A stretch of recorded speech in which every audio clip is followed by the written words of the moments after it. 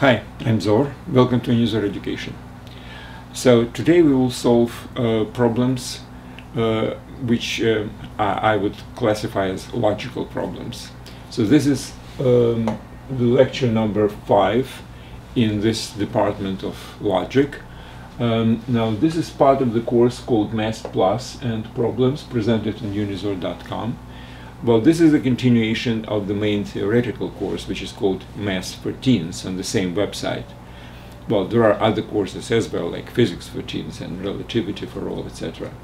So basically, my purpose was after the theoretical uh, course called Math for Teens, I wanted to, preserve, uh, to present certain problems which are not exactly like illustration for the theory, but rather to force you to think creatively outside of the box.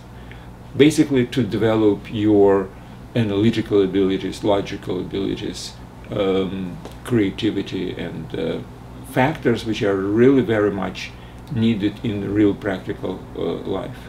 Obviously, none of the problems which I present here are of any kind of practical sense. Well, almost none of them. Um, but again, this is just a gym for your brain. This is exercise for your inner powers. Okay, so after, uh, yeah, I didn't really mention that everything on unizor.com is totally free. There are no advertisements, um, no strings attached. Uh, you don't even have to sign in if you are uh, just studying alone, just for yourself. Uh, if you're supervised uh, in, in, your studying, then we need something like a relationship between the supervisor and and and the student, and then there is need for signing. But again, it's just signing like name and password, and that's it. Okay. So logical problems, and uh, these logical problems are not really very difficult, but they have some kind of a twist which might be you know, interesting. And uh, what's very important is I will present the problem, but before I start the explaining how I would solve it, I would suggest you to pause the video and try to solve it yourself. Alternatively, you can go to the website and every lecture has a textual part, which is basically like a textbook, where I present the problem not necessarily with solution. I mean, I'm talking about the problems of this course. So in some cases, I just give a hint in the textual part of this lecture. So it might actually make sense for you before you even start listening to the lecture, go to the website and uh, see what the textual part is. There is a problem, uh, a presented problem, and um, try to solve it yourself maybe there is a hint, use the hint. Sometimes I do present solution as well in the textual part, sometimes not. The solutions are for the lectures actually. All right, so I have um, five problems. So let's start. The first problem. Okay, imagine, uh, let's say a casino, and casino manager is analyzing um, uh, how many times people uh, win in roulette for whatever purposes, management purposes, to extract more money from the people. So let's say that he finds out that n1 number of people during, let's say, a day has won one or more times and two people has won two or more times during the day, etc. And n lowercase n people actually equals to n. That's the maximum. Nobody won more than n games during the day. Now, that's what he knows from whatever sources, doesn't really matter. Now, what he does want to know is how many times casino lost. Again, absolutely artificial conditions because it's much easier for him to know how many times casino lost just asking croupier or whoever. But in any case, it's a logical problem, it's math. So this is the problem and we have to solve it. So again, n1 people greater than one game and two people greater than two, etc. Now obviously n1 is greater than n2 because among people who won one or more, there are definitely people who won two or more. And n2 is greater than 3, etc. And, and n is the smallest number of people who won the maximum number of games, which is n. Okay, how can we solve this problem? So again, pause the video, think about it yourself. Now, before doing this actually, one second, I will give you an answer. The answer is n1 plus n2 plus etc plus nn. Now, when I solved the problem and found that's the re result and checked it against the answer in the book actually, um, I was kind of surprised because it looks like the number of people who are in the group of people who want one or more is basically ev everybody from this group is contained here, everybody on this group is contained there, etc. So that was kind of a surprising answer for me. Nevertheless, it's true. Okay, now you can pause the video and I will um, explain the solution. Um, okay, let's about let's think about it this way. If n1 people won one or more games, and two people won two or more games. How many people won just one game? Well, obviously it's the difference between these two. These people won one game. Now, let's talk about two people, uh, two, two games. How many people um, won just exactly two games? Well, if N2 won two or more, and N3 won three or more. So the difference between them is number of people who won two games. So this number of people won one game, this won two game. Well, obviously I can continue this, and let's say um, n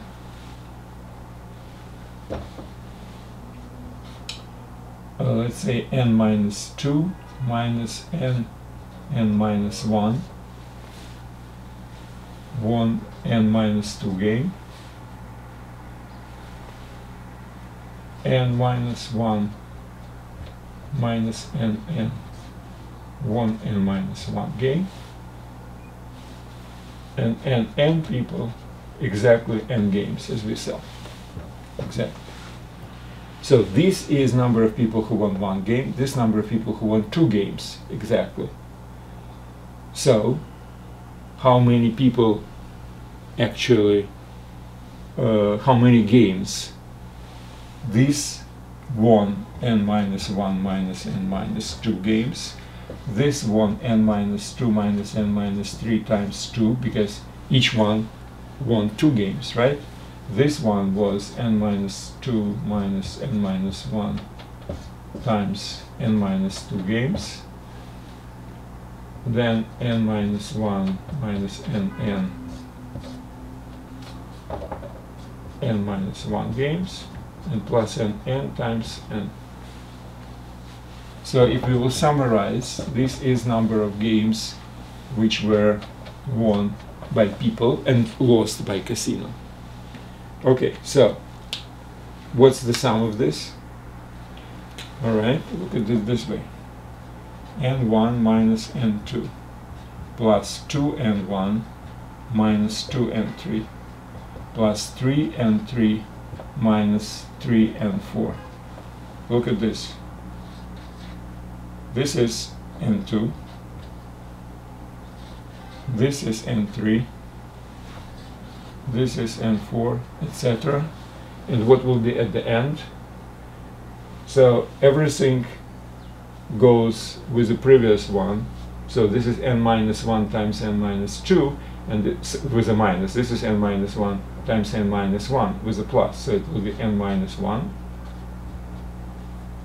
Uh, and uh, minus n times n minus 1 plus n time, times n n, so it will be n n. So this is exactly n, n1, and 2 and 3, and 4, and minus 1, and, and, and exactly like I told you in the very beginning. That's it.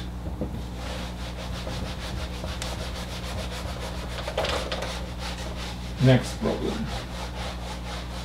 Next one is easy.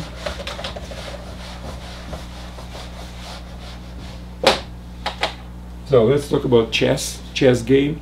Well, not exactly chess game, but just one particular um, uh, aspect of the chess game.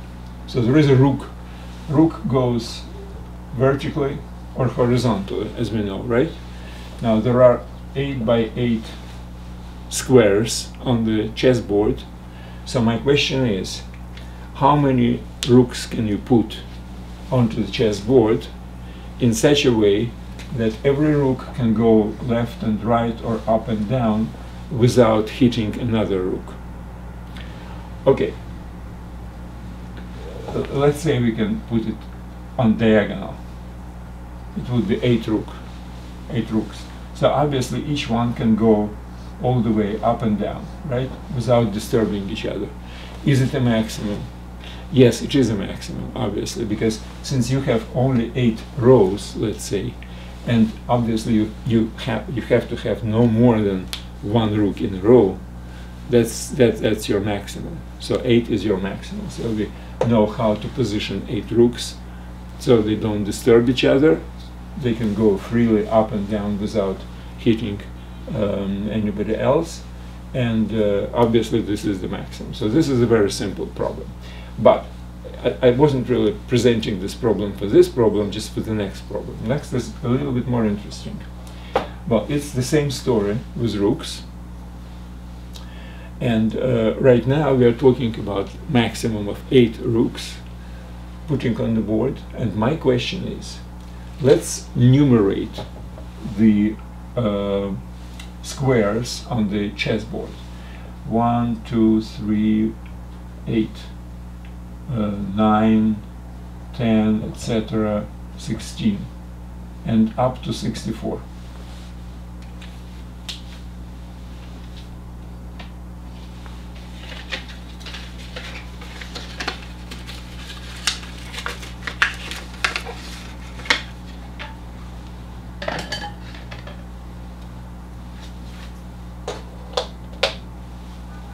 Now, so we have 64 squares and every square has a number.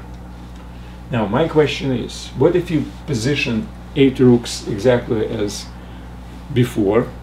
I mean, no rook is preventing another rook to go up and down all the way to the edge of the of the board. My question is, what's the sum of the numbers uh, which are where the rooks are positioned? Well, uh, in this particular case, if we have diagonals, diagonals have number what 1 then next one will be uh, this is 9 so this is 10 um, and it, I always add 9 right? So 19 uh, 28 etc so if you will summarize them somehow you will get some kind of a number. Okay. Now but we can position rooks differently. For instance, we can position along this diagonal, or we can position it somehow this way. In some order, whatever the order we can put in, in such a way that they do not really prevent each other from movement, we can position them. And obviously, we can calculate the sum of the numbers. What is this sum of the numbers? Does it depend on how we position our rooks or not. Well, think about this. Pause the video and I will tell the result of this. Well, the result of this is that the sum will be always the same. again, kind of unusual answer. You position it differently, but the sum of the numbers will be the same. So let's calculate this number. Okay, here's how we can calculate it. Now, we consider, we put, um, we have eight rooks, eight rooks. So we will have row number and column number, row number and column number of every rook. So I put index i, where i is equal to 1, 2, etc., 8. Okay, so we have this. Now, what is the number associated with a square which has coordinates ri and ci? Well, that's kind of easy thing because obviously it's ri minus 1 times 8 plus ci. If the row is equal to 1 and column equals to 1, so it will be 1 minus 1, which is 0 times 8 plus 1. Let's say we have the very last one, 8, 8. So what we will have? 8 minus 1 times 8 plus 8 which is 5664 obviously so this is the right number something like this number this is the last row is equal to 8 and column is equal to 1 now this is 64 this is 57 right uh, so let's try if r is equal to 8 and c is equal to 1 56 plus 1 57 yes that's the correct formula and then obviously the number of row minus 1 should be multiplied by 8, the number of uh, elements in a row, and then plus the column number. So that's fine. Okay, formula we have. Now, let's summarize Ri minus 1 times 8 plus Ci. i from 1 to 8. So what will we have?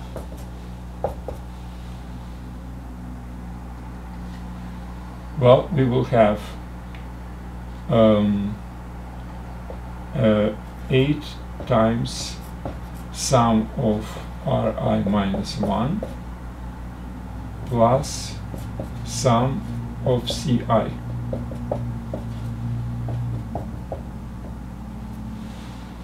Now let's think about it. From the previous problem, we know that every rook has its own row and no two rooks are supposed to be in the same row because otherwise they would be they would disturb each other in their movement. Same thing with column. No rooks should be in the same column. So all the C's must be different. Now, what are the C's value? It's 1 or 2 or 3, etc., or 8. Now, they're all different. They might be from 1 to 8. So this sum is basically independent. It's basically sum of 1 plus 2 plus etc. plus 8, whatever it is. Now, this is exactly the same. All our Ri's are supposed to be unique because no two rooks are supposed to be in the same row. Which means when you summarize it, it will be, well, Ri is from 0 to 1, so Ri minus 1 is from 0 to 7, so it's uh, 1 plus, uh, 0 plus 1 plus etc. plus 7. So that would be times 8 plus this. And if you will not, if you will calculate, it will be 260. So again, no matter what's the order of Ri's and Ci's, they must be different, which means they are Ri minus 1 should be from 0 to 7, all the different values. In maybe different order, but the sum would be exactly the same. Alright, so that's it. Next problem.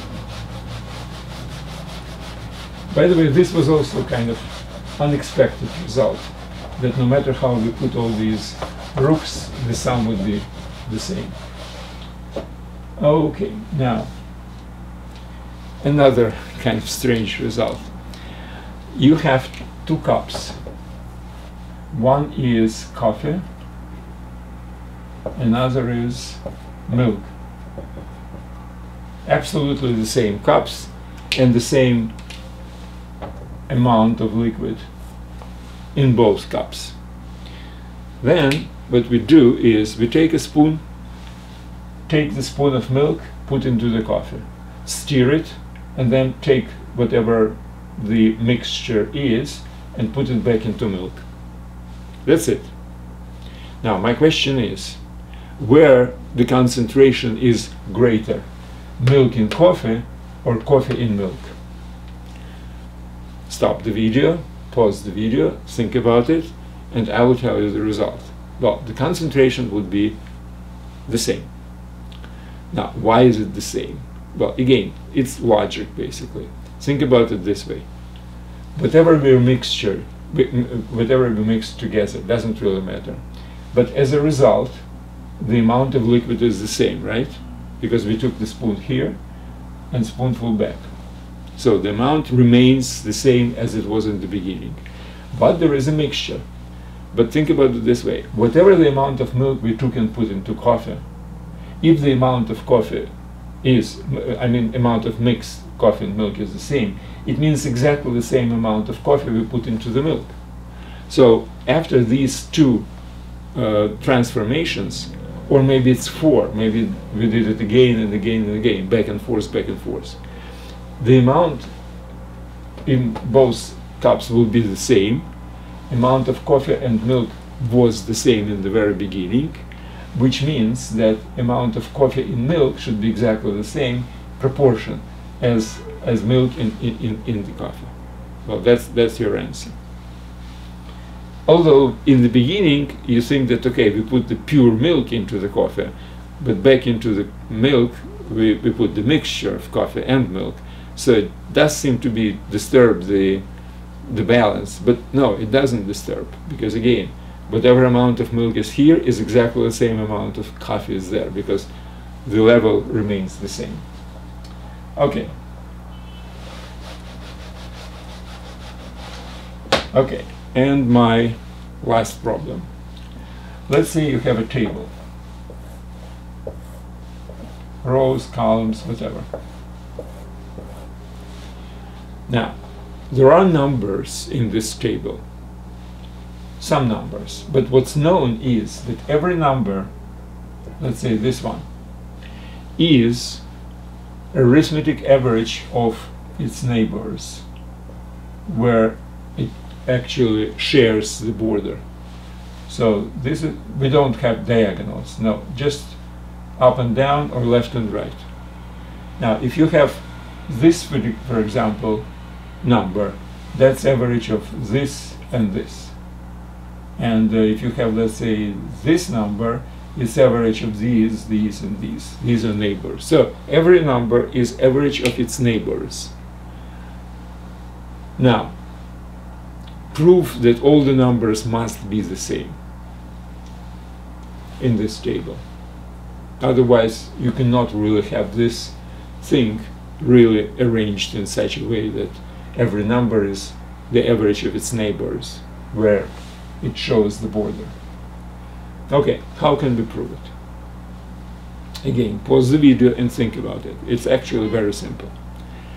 Now, we are talking about table with certain finite number of numbers, which means there is a maximum number. We can start with a minimum or maximum, doesn't really matter. Let's start with a maximum number.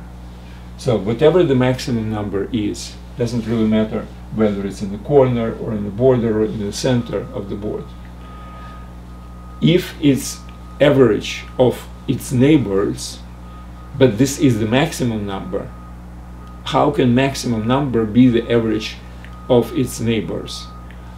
Only in one particular case, if they are all equal to this maximum number.